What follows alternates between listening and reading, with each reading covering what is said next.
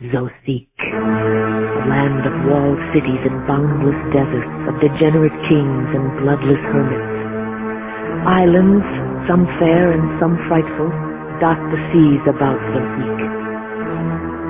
South across the Indaskian Sea lies Sintram. To the west are Naat, the isle of the necromancers, and Erebos, the isle of the crabs. Eastward one comes to Uccastrog, the isle of the torturers. Sotar, the realm of King Adompha of the abominable garden. Tosk, the isle of the eighth man. The cannibal isle of Yumoto. The dread archipelagos of the Yotian Sea, haunted by griffins and vampires. And Orneva, the isle of birds. Among men, the age of material science has been forgotten for eons. In its place, the old gods, demons, and magics have returned in more evil and more sinister guises than ever.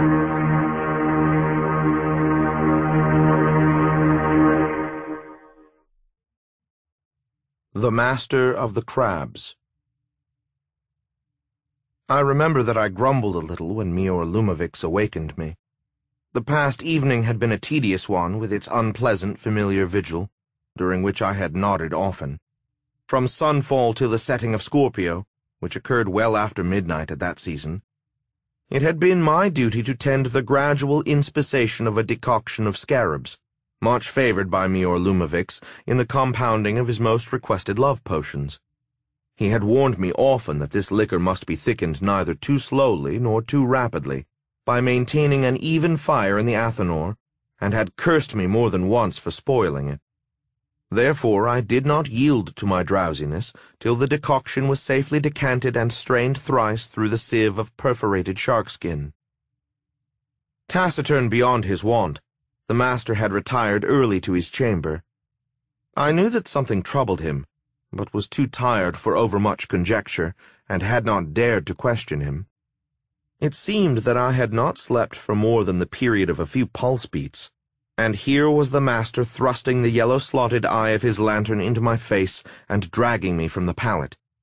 I knew that I should not sleep again that night, for the master wore his one-horned hat, and his cloak was girdled tightly about him, with the ancient Arthame depending from the girdle in its shagreen sheath that time and the hands of many magicians had blackened. Abortion fathered by a sloth, he cried. Suckling of a sow that has eaten mandragora. Would you slumber till doomsday? We must hurry. I have learned that Sarcand has procured the chart of Omvor, and has gone forth alone to the wharves. No doubt he means to embark in quest of the temple treasure. We must follow quickly, for much time has already been lost. I rose now without further demur, and dressed myself expeditiously, knowing well the urgency of this matter. Sarcand, who had but lately come to the city of Mirouane, had already made himself the most formidable of all my master's competitors. It was said that he was native to Naat, amid the sombre western ocean, having been begotten by a sorcerer of that isle on a woman of the black cannibals who dwell beyond its middle mountains. He combined his mother's savage nature with the dark necromantic craft of his father, and, moreover, had acquired much dubious knowledge and repute in his travels through Orient kingdoms before settling in Mirouane. The fabulous chart of Omvor, dating from lost ages, was a thing that many generations of wizards had dreamt to find. Omvor, an ancient pirate still renowned, had performed successfully a feat of impious rashness, Sailing up a closely guarded estuary by night with his small crew disguised as priests in stolen temple barges, he had looted the fane of the moon god in Farad, and had carried away many of its virgins, together with gems, gold, altar vessels, talismans, phylacteries, and books of eldritch elder magic. These books were the gravest loss of all, since even the priests had never dared to copy them. They were unique and irreplaceable, containing the erudition of buried aeons. Omvor's feat had given rise to many legends. He and his crew and the ravished virgins, in two small brigantines, had vanished ultimately amid the western seas. It was believed that they had been caught by the Black River, that terrible ocean stream which pours with an irresistible swiftening beyond Naat to the world's end. But before that final voyage, Omvor had lightened his vessels of the looted treasure and had made a chart on which the location of its hiding place was indicated. This chart he had given to a former comrade who had grown too old for voyaging.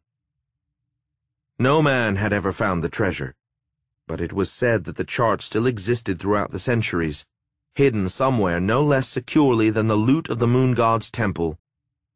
Of late there were rumors that some sailor, inheriting it from his fathers, had brought the map to Mirouane. Mior Lumivix, through agents both human and preterhuman, had tried vainly to trace the sailor, knowing that Sarcand and the other wizards of the city were also seeking him. This much was known to me and the master told me more while, at his bidding, I collected hastily such provisions as were needed for a voyage of several days. I have watched Sarcand like an osprey watching its nest, he said. My familiars told me that he had found the chart's owner, and had hired some thief to steal it, but they could tell me little else. Even the eyes of my devil cat, peering through his windows, were baffled by the cuttlefish darkness with which his magic surrounds him at will. Tonight I did a dangerous thing, since there was no other way. Drinking the juice of the purple Dedaim, which induces profound trance, I projected my Ka into his elemental guarded chamber. The elementals knew my presence. They gathered about me in shapes of fire and shadow, menacing me unspeakably. They opposed me. They drove me forth. But I had seen enough.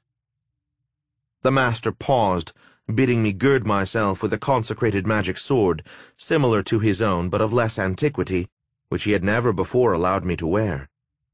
By this time I had gathered together the required provision of food and drink, storing it in a strong fish net that I could carry easily over my shoulder by the handle. The net was one that we used mainly for catching certain sea reptiles, from which Mior Lumivix extracted a venom possessing unique virtue. It was not till we had locked all the portals and had plunged into the dark, seaward winding streets that the master resumed his account. A man was leaving Sarcand's chamber at the moment of my entrance. I saw him briefly, ere the black arras parted and closed.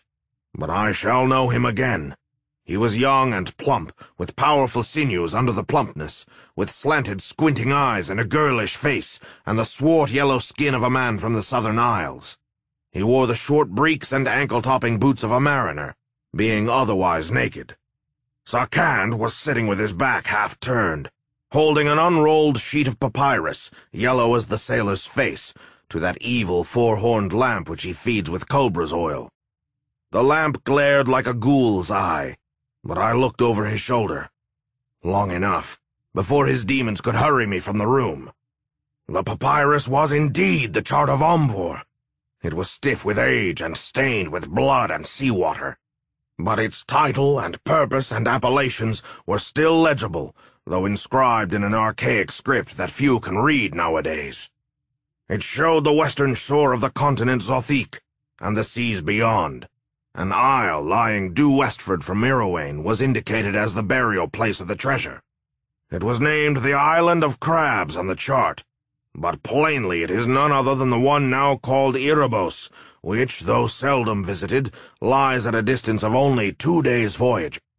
There are no other islands within a hundred leagues, either north or south, excepting a few desolate rocks and small atolls.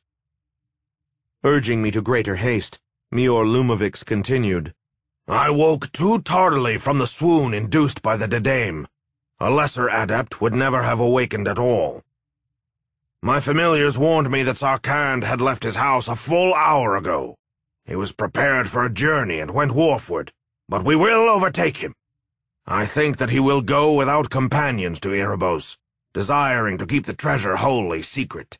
He is indeed strong and terrible, but his demons are of a kind that cannot cross water, being entirely earthbound. He has left them behind with the moiety of his magic. Have no fear for the outcome.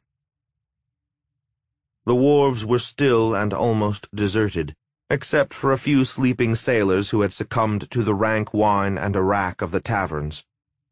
Under the late moon that had curved and sharpened to a slim scimitar, we unmoored our boat and pushed away, the master holding the tiller, while I bent my shoulders to the broad-bladed oars. Thus we threaded the huddled maze of far-gathered ships, of xebecs and galleys, of river barges and scows and feluccas that thronged that immemorial harbor. The sluggish air, hardly stirring our tall lateen sail, was pregnant with sea smells, with the reek of laden fishing boats and the spices of exotic cargoes.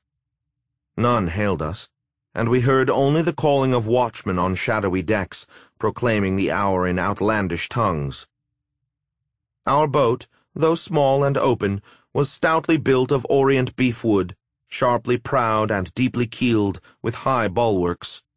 It had proven itself seaworthy even in tempests such as were not to be apprehended at this season. Blowing over Mirouane, from fields and orchards and desert kingdoms, a wind freshened behind us as we cleared the harbor. It stiffened till the sail bellied like a dragon's wing. The furrows of foam curved high beside our sharp prow, as we followed Capricornus down the west. Far out on the waters before us, in the dim moonlight, something seemed to move, to dance and waver like a phantom. Perhaps it was Sarcand's boat, or another's. Doubtless the master also saw it, but he said only, You may sleep now. So I, Manthar the apprentice, composed myself to slumber, while Mior Lumivix steered on, and the starry hooves and horns of the goat sank seaward. The sun was high above our stern when I awakened. The wind still blew, strong and favorable, driving us into the west with unabated speed. We had passed beyond sight of the shoreline of Zothique.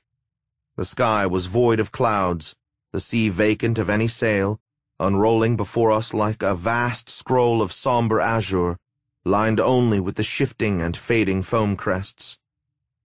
The day went by, ebbing beyond the still empty horizon, and night overtook us like the heaven-blotting purple sail of a god, sown with the signs and planets. The night, too, went over, and a second dawn. All this time, without sleeping, the master had steered the boat, with eyes peering implacably westward like those of an ocean hawk, and I wondered greatly at his endurance. Now, for a while, he slept, sitting upright at the helm, but it seemed that his eyes were still vigilant behind their lids, and his hand still held the rudder straight, without slackening. In a few hours the master opened his eyes, but hardly stirred from the posture he maintained throughout. He had spoken little during our voyage. I did not question him, knowing that he would tell me whatever was needful at the due time, but I was full of curiosities, and was not without fear and doubt regarding Sarcand, whose rumored necromancies might well have dismayed others than a mere novice. I could surmise nothing of the master's thoughts, except that they concerned dark and esoteric matters. Having slept for the third time since our embarkment, I was roused by the master crying loudly. In the dimness of the third dawn, an island towered before us, impending with jagged cliffs and jutting crags, and barring the sea for several leagues to northward and southward. It was shaped somewhat like a monster, facing north. Its head was a high-horned promontory, dipping a great griffin-like beak in the ocean. This is Erebos, the master told me. The sea is strong about it, with strange tides and perilous currents. There are no landing places on this side, and we must not venture too close. We must round the northern headland. There is a small cove amid the western cliffs, entered only through a sea cavern. It is there that the treasure lies. We tacked northward slowly and deviously against the wind, at a distance of three or four bowshots from the island.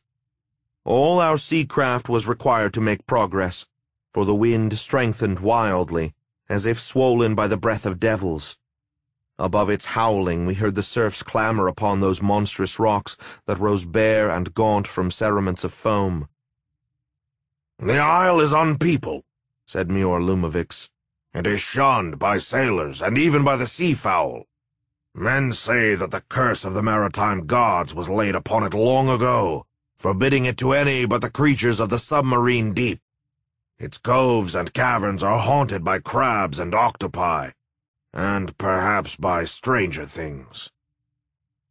We sailed on in a tedious, serpentine course, beaten back at times or borne perilously shoreward by the shifting gusts that opposed us like evil demons. The sun climbed in the orient, shining starkly down on the desolation of crags and scarps that was Erebos. Still we tacked and veered, and I seemed to sense the beginning of a strange unease in the master. But of this, if such there was, his manner betrayed no sign. It was almost noon when we rounded at last the long beak of the northern promontory. There, when we turned southerly, the wind fell in a weird stillness, and the sea was miraculously calmed as if by wizard oils. Our sail hung limp and useless above mirror-like waters, in which it seemed that the boat's reflected image and ours, unbroken, moveless, might float forever amid the unchanging reflection of the monster-shapen isle. We both began to ply the broad oars, but even thus the boat crawled with a singular slowness.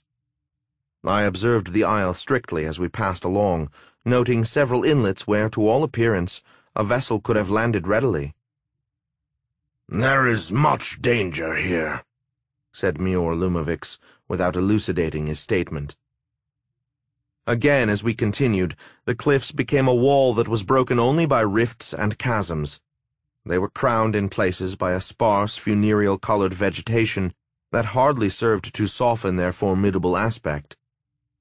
High up in the clefted rocks, where it seemed that no natural tide or tempest could have flung them, I observed the scattered spars and timbers of antique vessels. Row closer, enjoined the master. We are nearing the cavern that leads to the hidden inlet. Even as we veered landward through the crystalline calm, there was a sudden seething and riffling about us, as if some monster had risen beneath. The boat began to shoot with plummet-like speed toward the cliffs, the sea foaming and streaming all around as though some kraken were dragging us to its caverned lair. Borne like a leaf on a cataract, we toiled vainly with straining oars against the ineluctable current. Heaving higher momentarily, the cliffs seemed to shear the heavens above us, unscalable, without ledge or foothold. Then, in the sheer wall, appeared the low, broad arch of a cavern mouth that we had not discerned heretofore, toward which the boat was drawn with dreadful swiftness. It is the entrance, cried the master. But some wizard tide has flooded it. We shipped our useless oars and crouched down behind the thwarts as we neared the opening, for it seemed that the lowness of the arch would afford bare passage to our high-built prow. There was no time to unstep the mast, which broke instantly like a reed as we raced on without slackening into blind, torrential darkness. Half stunned, and striving to extricate myself from the fallen, spar-weighted sail, I felt the chillness of water splashing about me, and knew that the boat was filling and sinking. A moment more, and the water was in my ears and eyes and nostrils. But even as I sank and drowned, there was still the sense of swift onward motion. Then it seemed dimly that arms were around me in the strangling darkness, and I rose suddenly, choking and gasping and spewing into sunlight. When I had rid my lungs of the brine and regained my senses more fully, I found that Mior Lumivix and I were floating in a small haven, shaped like a half-moon and surrounded by crags and pinnacles of sullen-colored rock. Close by, in a sheer, straight wall, was the inner mouth of the cavern through which the mysterious current had carried us, with faint ripples spreading around it and fading away into water smooth and green as a platter of jade. Opposite, on the haven's farther side, was the long curve of a shelving beach strewn with boulders and driftwood. A boat resembling ours, with an unshipped mast and a furled sail the color of fresh blood, was moored to the beach, Near it, from the shoaling water, protruded the broken-off mast of another boat, whose sunken outlines we discerned obscurely. Two objects which we took for human figures were lying half in and half out of the shallows a little farther along the strand. At that distance, we could hardly know whether they were living men or cadavers. Their contours were half hidden by what seemed a curious sort of brownish-yellow drapery that trailed away amid the rocks, appearing to move and shift and waver incessantly. There is mystery here, said Mior Lumivix in a low voice. We must proceed with care and circumspection. We swam ashore at the near end of the beach, where it narrowed like the tip of a crescent moon to meet the sea-wall. Taking his Arthame from its sheath, the master wiped it dry with the hem of his cloak, bidding me do likewise with my own weapon, lest the brine corrode it. Then, hiding the wizard blades beneath our raiment, we followed the broadening beach toward the moored boat and the two reclining figures. This is indeed the place of Omvor's chart, observed the master. The boat with the blood-red sails belongs to Sarcand. No doubt he has found the cave, which lies hidden somewhere among the rocks. But who are these others? I do not think that they came with Sarcand. As we neared the figures, the appearance of a yellowish-brown drapery that covered them resolved itself into its true nature. It consisted of a great number of crabs who were crawling over their half-submerged bodies and running to and fro behind a heap of immense boulders. We went forward and stooped over the bodies from which the crabs were busily detaching morsels of bloody flesh. One of the bodies lay on its face. The other stared with half-eaten features at the sun. Their skin, or what remained of it, was a swarthy yellow. Both were clad in short purple breeks and sailor's boots, being otherwise naked. What hellishness is this? inquired the master. These men are but newly dead and already the crabs rend them. Such creatures are wont to wait for the softening of decomposition. And look, they do not even devour the morsels they have torn, but bear them away. This indeed was true, for I saw now that a constant procession of crabs departed from the bodies, each carrying a shred of flesh, to vanish beyond the rocks, while another procession came, or perhaps returned, with empty pincers.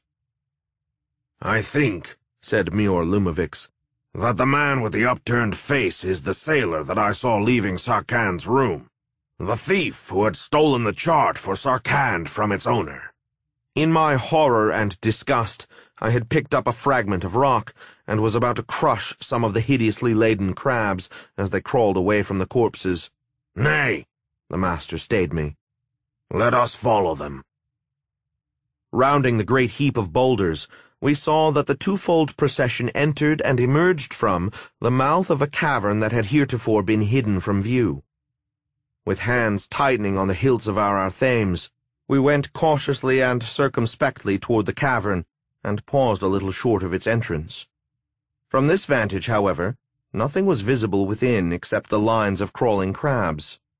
Enter, cried a sonorous voice that seemed to prolong and repeat the word in far-receding reverberations, like the voice of a ghoul echoing in some profound sepulchral vault. The voice was that of the sorcerer Sarcand. The master looked at me, with whole volumes of warning in his narrowed eyes, and we entered the cavern. The place was high-domed and of indeterminable extent. Light was afforded by a great rift in the vault above, through which, at this hour, the direct rays of the sun slanted in, falling goldenly on the cavern's foreground, and tipping with light the great fangs of stalactites and stalagmites in the gloom beyond. At one side was a pool of water, fed by a thin rill from a spring that dripped somewhere in the darkness. With the shafted splendor shining full upon him, Sarcand reposed half-sitting, half-recumbent, with his back against an open chest of age-darkened bronze. His huge, ebon-black body, powerfully muscled though inclining toward corpulence, was nude except for a necklace of rubies, each the size of a plover's egg, that depended about his throat. His crimson sarong, strangely tattered, bared his legs as they lay outstretched amid the cavern's rubble.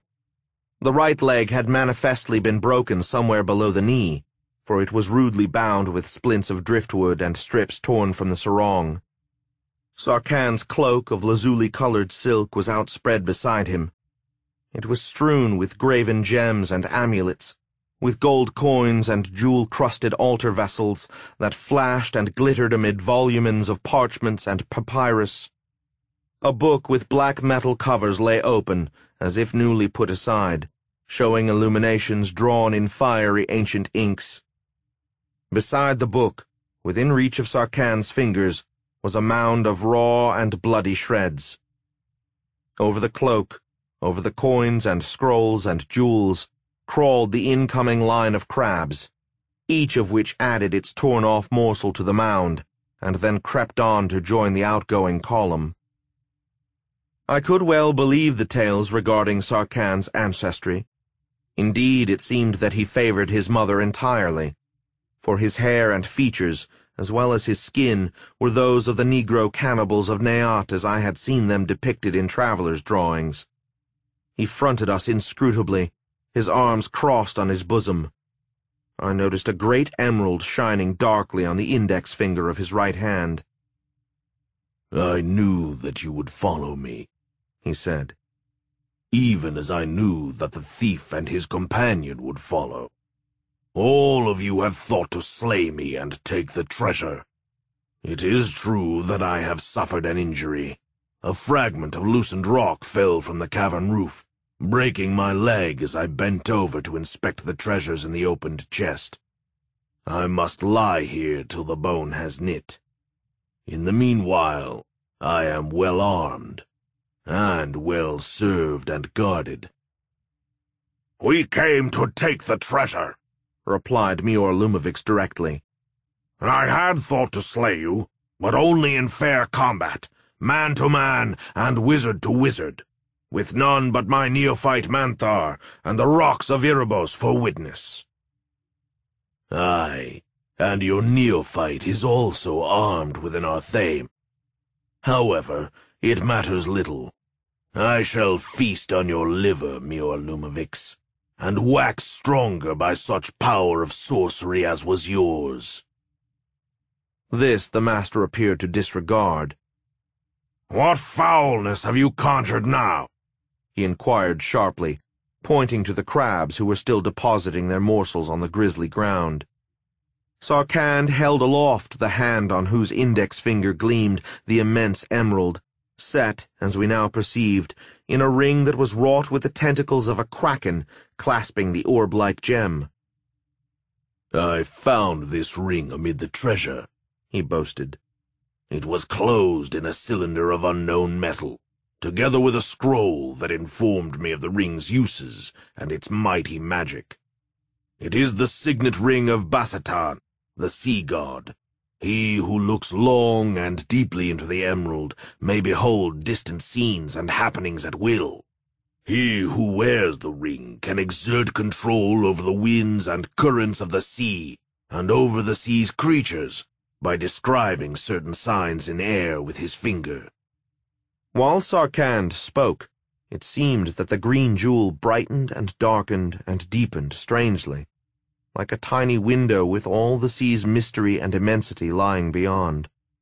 Enthralled and entranced, I forgot the circumstances of our situation, for the jewel swelled upon my vision, blotting from view the black fingers of Sarcand, with a swirling as of tides and of shadowy fins and tentacles, far down in its glimmering greenness. Beware, Manthar, the master murmured in my ear. We face a dreadful magic, and must retain the command of all our faculties. Avert your eyes from the emerald. I obeyed the dimly heard whisper.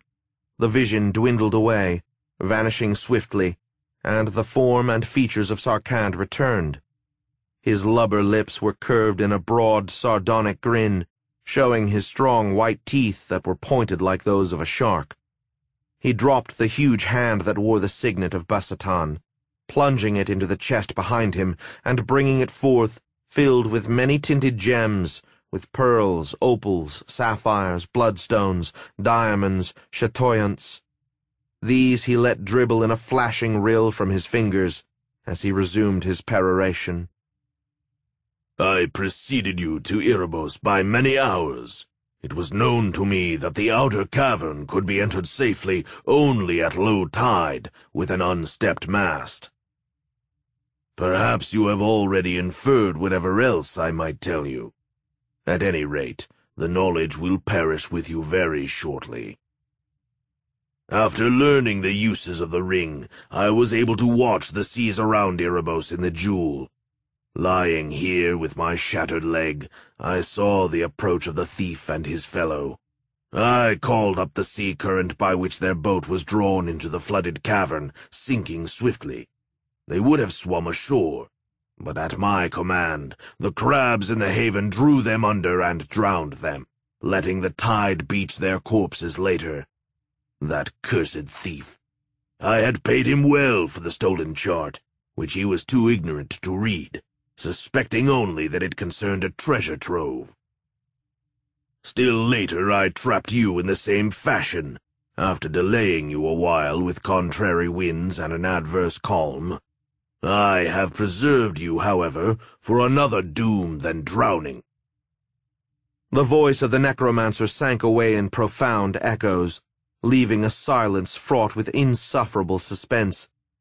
It seemed that we stood amid the gaping of undiscovered gulfs, in a place of awful darkness, lit only by the eyes of Sarcand and the ring's talismanic jewel. The spell that had fallen upon me was broken by the cold, ironic tones of the master. Sarcand, there is another sorcery that you have not mentioned. Sarcand's laughter was like the sound of a mounting surf. I follow the custom of my mother's people, and the crabs serve me with that which I require, summoned and constrained by the sea god's ring. So saying, he raised his hand and described a peculiar sign with the index finger, on which the ring flashed like a circling orb. The double column of crabs suspended their crawling for a moment, then moved as if by a single impulse. They began to scuttle toward us, while others appeared from the cavern's entrance and from its inner recesses to swell their rapidly growing numbers. They surged upon us with a speed beyond belief, assailing our ankles and shins with their knife-sharp pincers as if animated by demons. I stooped over, striking and thrusting with my athame, but the few that I crushed in this manner were replaced by scores, while others, catching the hem of my cloak, began to climb it from behind and weigh it down. Thus encumbered, I lost my footing on the slippery ground and fell backward amid the scuttling multitude. Lying there while the crabs poured over me like a seething wave, I saw the master shed his burdened cloak and cast it aside. Then, while the spell-drawn army still besieged him, climbing upon each other's backs and scaling his very knees and thighs, he hurled his athame with a strange circular motion at the upraised arm of Sarcand. Straightly the blade flew, revolving like a disk of brightness, and the hand of the black necromancer was sundered cleanly at the wrist, and the ring flashed on its index finger like a falling star as it fell groundward. Blood spouted in a fountain from the handless wrist, while Sarcand sat as in a stupor, maintaining for a brief instant the gesture of his conjuration. Then the arm dropped to his side and the blood reeled out upon the littered cloak, spreading swiftly amid the gems and coins and volumens, and staining the mound of crab-deposited morsels. As if the arm's movement had been another signal, the crabs fell away from the master and myself, and swarmed in a long, innumerable tide toward Sarcand. They covered his legs, they climbed his great torso, they scrambled for place on his escalated shoulders. He tore them away with his one hand, roaring terrible curses and imprecations that rolled in countless echoes throughout the cavern. But the crabs still assailed him as if driven by some demoniac frenzy, and blood trickled forth more and more copiously from the small wounds they had made, to suffuse their pincers and streak their shells with broadening rillets of crimson. It seemed that long hours went by while the master and I stood watching, at last, the prostrate thing that was Sarcand had ceased to heave and toss under the living shroud that enswathed it. Only the splint-bound leg and the lopped-off hand with the ring of Basatan remained untouched by the loathsomely busied crabs. Faugh! the master exclaimed. He left his devils behind when he came here, but he found others. It is time that we went out for a walk in the sun. Manthar, my good lubberly apprentice, I would have you build a fire of driftwood on the beach. Pile on the fuel without sparing, to make a bed of coals deep and hot and red as the hearth of hell, in which to roast us a dozen crabs. But be careful to choose the ones that have come freshly from the sea.